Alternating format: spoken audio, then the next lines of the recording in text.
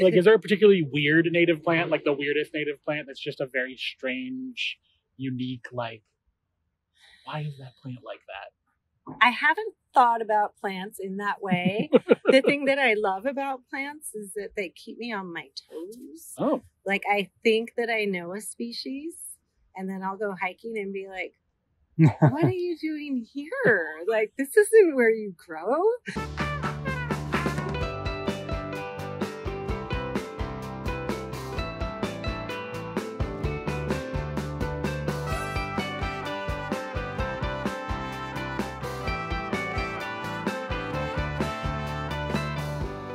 Hi, welcome. Hey, Thank you so much for joining us. Thank you for Um, the invite. To get started, can you I mean- introduce yourself a little bit? Tell us about uh, you, your history here with Watershed, how you got involved with natives. I was a marine biologist studying toxicology, and then I did a summer job with the state parks as an interpreter down in Santa Cruz County. And the local resource manager there did a restoration project on the sand dunes where he removed about 100 meters of a non native beach grass. And um, he planted some native species there, but also all these native plants that had been just like waiting in the seed bank for 50 plus years came up.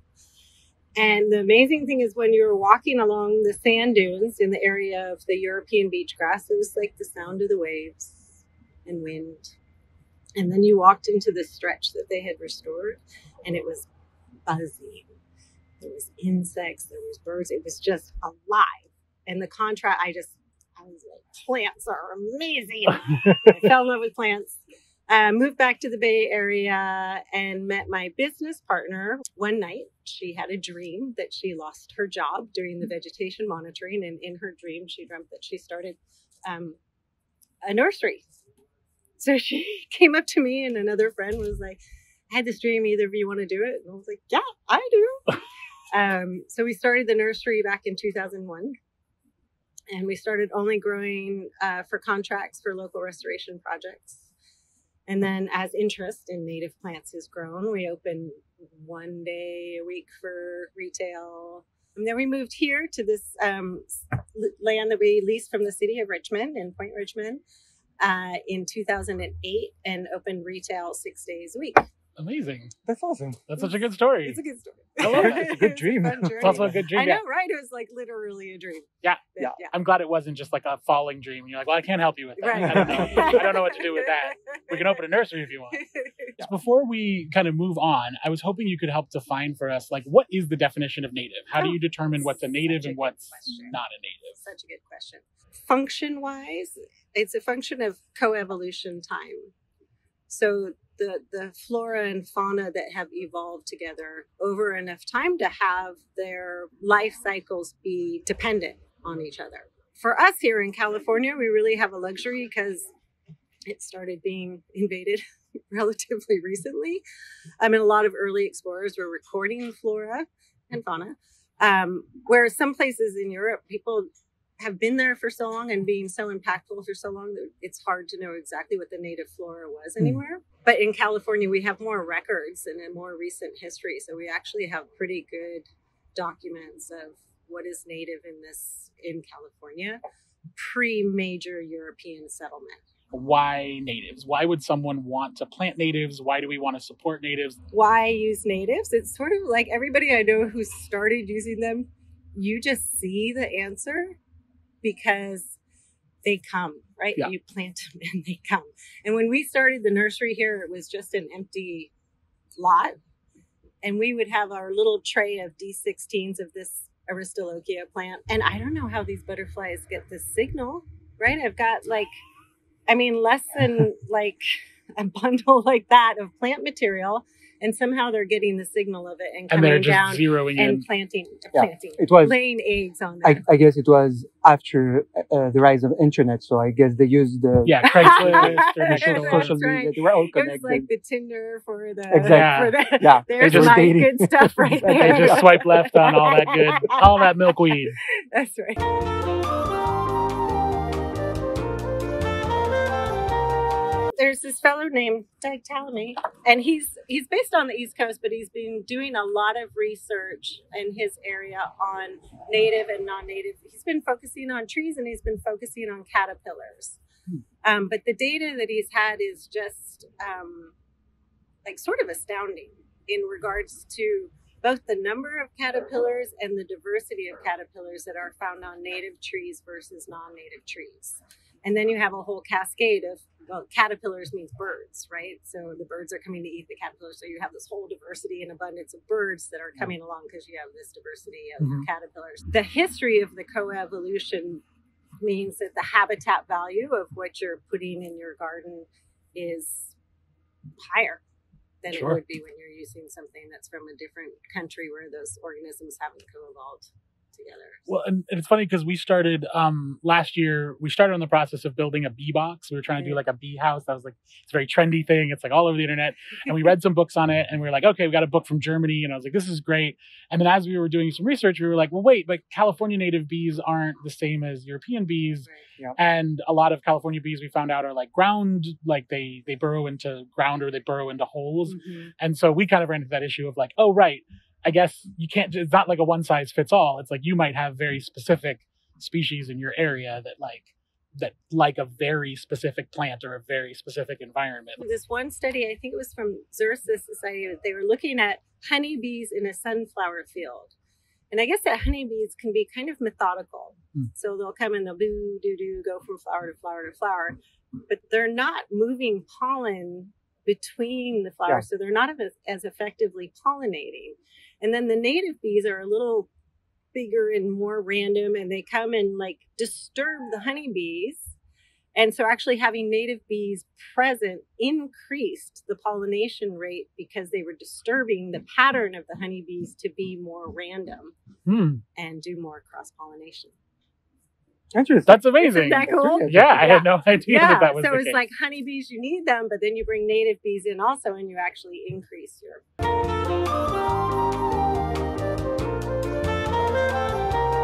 Can you give us uh, an example of interaction between the uh, the native life and the native plants that, that you the talked flora about? and the fauna.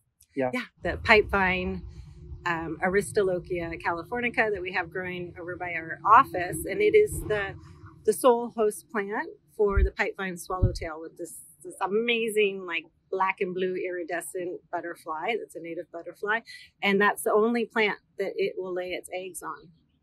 And then when the eggs hatch, the caterpillars come out and they devastate the vine. It's amazing, actually, that we can't really figure out if there's any benefit to the vine at all.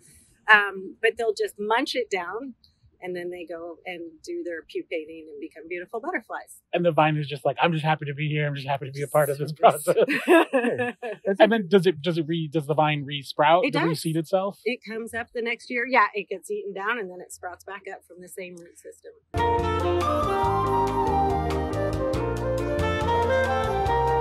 if in the vegetable garden, uh, if we have a problem, for example, with that specific uh, butterfly, with the caterpillar that would eat the plants, so then all we ha- would have to do here in California, it's plant uh, that vine, and it's gonna just they not they wouldn't attack the vegetable garden. They would use those ones would instead. for that. Mhm, Yeah, so that mhm. would be a good plant for uh, for uh, that pest, let's say. Yeah. Uh, what kind of recu- repercussions? That's the Mhm, word. Okay. mhm. the reper- repercussions when a non-native species takes the place of a native species. Uh-huh. So you can have all sorts of different kinds depending on your habitat. Um, so the the loss in diversity is a huge one. So that one plant in the resources it can provide compared to 25 different species in the amount of resources they provide for different types of fauna is a major one. Um, of course, you can have things with non-native species like eucalyptus and enhancing fire. You can have issues like on the Colorado River with tamarisk, where it's completely changed the water table. And so, because the tamarisk Yeah. is sucking up the water faster, the native trees and shrubs in the area are dying, and they happen to be the habitat for some endangered bird species.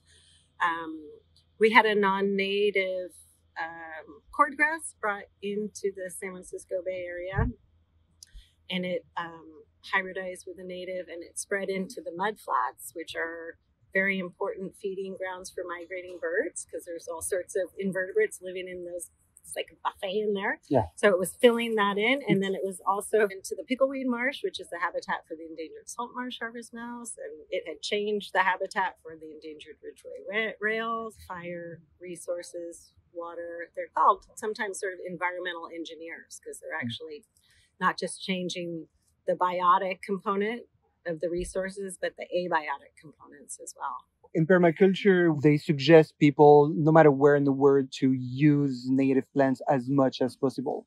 Uh, first, uh, most of them are perennials, so less care. But in Mm-hmm. general, Mhm. perennials or an- annuals, native plants, they have that symbiosis with this inv- in the, with their environment that they require almost zero care, Mm-hmm. uh, and uh, that's fantastic. Can you tell us about how native plants and the drought they work together? cool thing about California is it's so topographically diverse that we have this huge, I mean, we have over half of the diversity of all the flora of North America in California. It's cool. Anyway, and many of them need plenty of water. but many of them are also adapted to dealing with drought. Um, I still, we still recommend for people to water when things are planted until they get well established. Um, but yeah, once they're well established, they can survive. You know, if they're in someone's garden and they're getting a little more water, they're going to stay green longer. But um, they will survive. And as soon as you get the first rain, if we get rain, Yeah. they will sprout, start growing again Mm. and come back up. And they will, like, if you see native bunch grasses, even with drought, and you see them in July or August, compared to the annuals, which are the golden, right? Our golden rolling hills of California are non native European grasses. So the native grasses are perennial bunch grasses that actually retain green longer throughout the year so they wouldn't have that lovely golden color. So we have a lot of summer dormant plants here. Yeah. And in fact, one of our fellows who's from El Salvador was watering his first summer here. And he was come up to me and he's like, I'm watering this plant, I'm watering this plant, I don't know what's wrong with it. And it's like, oh, I'm sorry, I didn't tell you. It's a buckeye.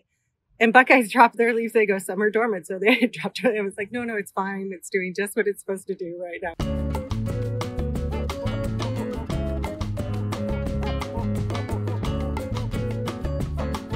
I noticed some shapes, and I'm very curious what the yeah shapes well were. so this doug tallamy image i really love so he's sort of like you know this is how we used to choose plants so you might be screening you know these are landscaping terms focal point anchor and the decorative and it's really about like us Mhm. people Mhm. What do we want in our garden kind of thing um, and now we're shifting to more balance so all of that's still there but bringing in all this you know supporting food webs protecting watersheds moderating weather supporting natural enemies creating pollinator habit restoring soil storing carbon wildlife appreciation um, so a more balanced What one can do in his own scale to help?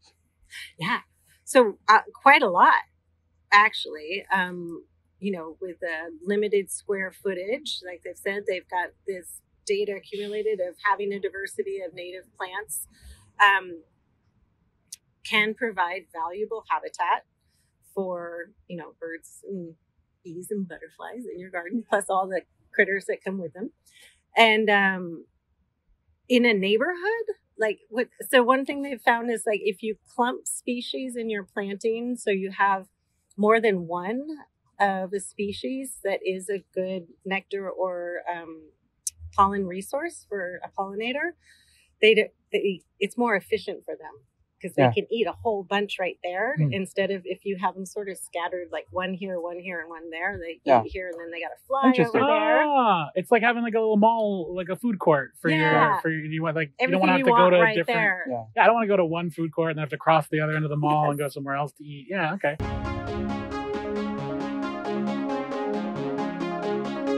And then also these ideas of um like creating corridors within a neighborhood. So neighborhoods are coordinating with each other with palettes of of um, sort of echoing a similar palette targeting. A lot of people are focusing on monarchs um, but it's monarchs whatever the plants that are benefiting monarchs benefit this whole cascading realm, um, so that they can provide, you know, corridors for the pollinators to be able to move through Hmm. their neighborhood, their city, their county.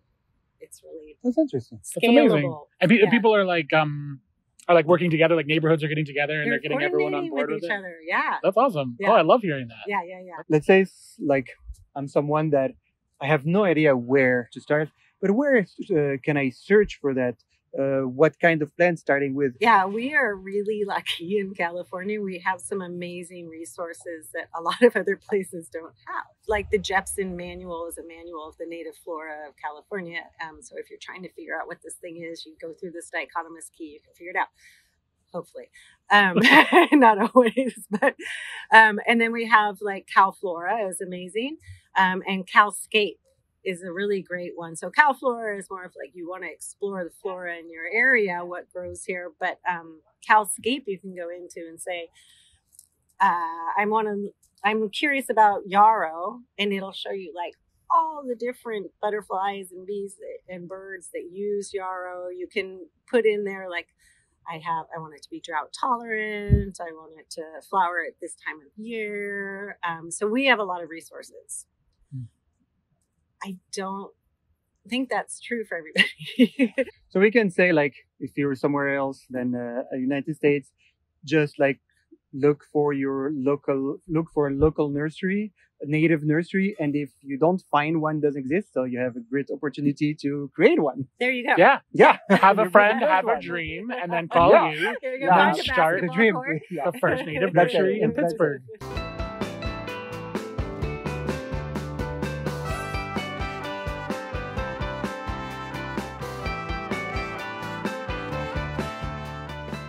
I guess Um, technically we're kind of an invasive species. One Human-. Humans with suburban tract homes yeah. are pretty pretty invasive. we're, we're really we're really good at it.